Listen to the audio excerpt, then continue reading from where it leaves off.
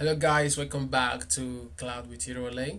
Uh, in today's tutorial, we are going to continue from the tutorial we did previously on buying a custom domain on Microsoft Azure. So if you follow along with uh, this previous tutorial, uh, buy a custom domain on Microsoft Azure Part 1, uh, we were able to buy a custom domain called uh, and uh, in today's tutorial we're going to focus on mapping an app service that we've already built out uh, to this custom domain. So if you're wondering how you can build a website on Microsoft App Service you can check out the tutorial I wrote sometime in 2019 on deploying a WordPress application to Microsoft Azure. As well so this gives you uh, like a step-by-step -step instructions on how to know, build a WordPress application on Microsoft Azure. Okay. Uh, just go back to my portal. I've already you know created this app service, installed WordPress, and you know be able to build some amazing website with it. I'll just show you a preview of how, what the website looks like. Yeah. Uh, so Azure App Service gives you your this unique URL. You have your app service name dot azure website dot net, so you can preview what you're building. But of course, I mean, we, we, we don't want to give our customers this or our, our clients this. So this this can be for just demo purpose, where they just have a preview of how the website looks like and do some corrections. And if everything is okay with them, you know, you go ahead and map that custom domain you just bought for them sometime, or you go ahead and buy a new custom domain and map it to the app service.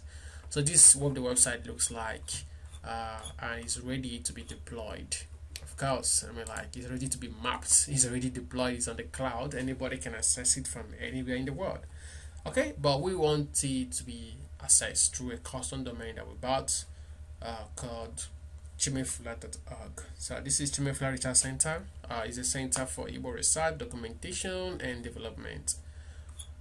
Okay so back to our portal so to map a custom domain, since we have already bought a custom domain, the first thing we are going to do is uh, scroll down on the left bar here where we have settings and click on custom domains. Once we're inside our custom domain, the first thing you have to do is to enable HTTPS only.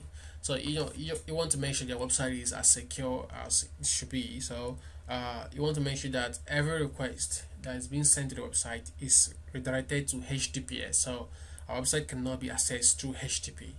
Okay, we want it to be accessed only through HTTPS. So we want our website to be as secure as it should be. So HTTPS only enabled. Then click on the uh, plus icon right here or on the name, add the custom domain.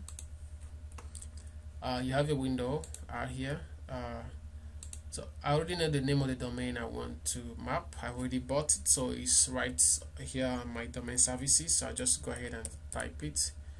chimefula.org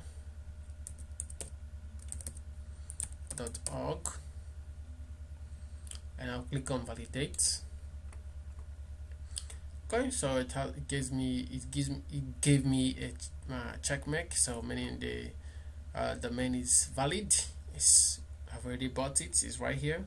I'll go ahead and leave this hostname record on a record because I just buy the domain for the root folder. I don't have subfolders. Uh, now go ahead and click on add custom domain.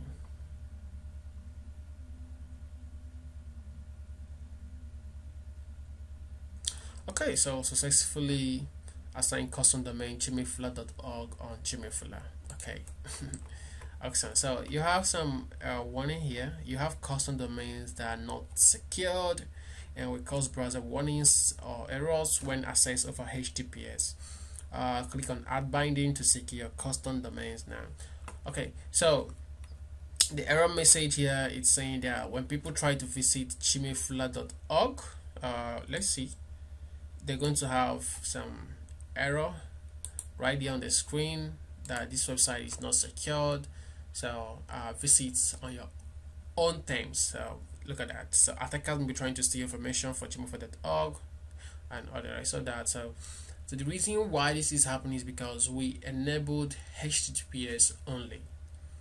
And we have enabled HTTPS only but we have not been able to configure our uh, SSL and uh, TL, TSL yet so because our TLS and SSL is not configured yet that means the website is not yet secured. So there is no uh, security certificate installed on the website or on the server. So when people are trying to visit the website right now they, they will be you know they will have this error on their screen. We don't want this so uh, because we don't want this we'll go ahead and do the necessary things. Okay so we are going to add binding SSL binding to our to our to our custom domain so SSL stands for secure uh, socket layer and our TLS stands for transport layer security so these are just protocols uh, when it comes to network. These are protocols that make sure that communication between two computers are done securely. Okay, let's not go too deeply into that. So go ahead and click on uh, where you have TLS slash SSL settings. Okay, no problem. Click OK.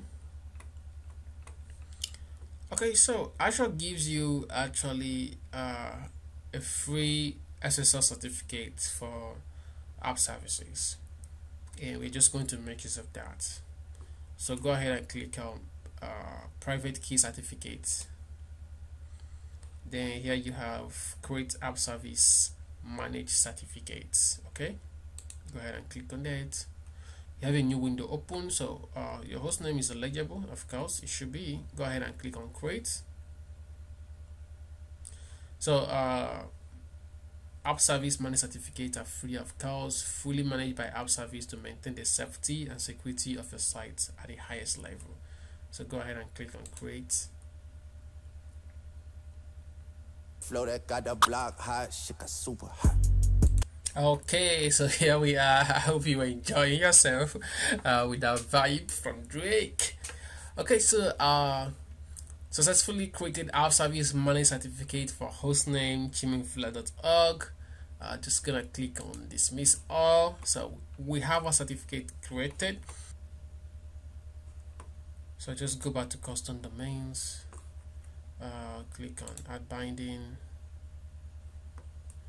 Okay, so here you have it. It's up now. Two certificates. Just going to choose the certificate.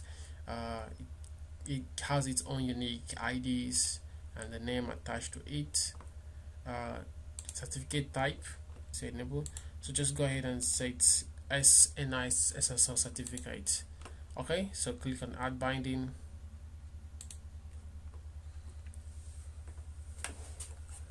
so this is configuring and that didn't take a lot of time. Okay so successful. Uh, go ahead and dismiss. And now we have our website configured and it has an SNI SSL binding. So let's go over to overview and check our new website with our custom domain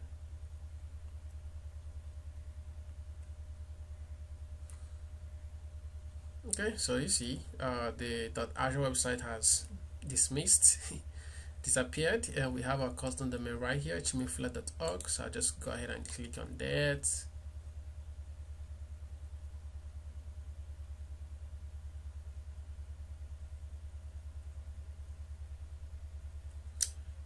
And bravo we have our website up and running and uh, we can say we are good to go because now our website is up and running through the custom domain chimefula.org and anybody from any place in the world can visit our website and check it out. So uh, guys thank you so much for watching this tutorial. This is exactly how you can you know uh, map your custom domain to an app service on Microsoft Azure. Uh, so stay tuned and please subscribe to my YouTube channel for more tutorials. See you soon. Bye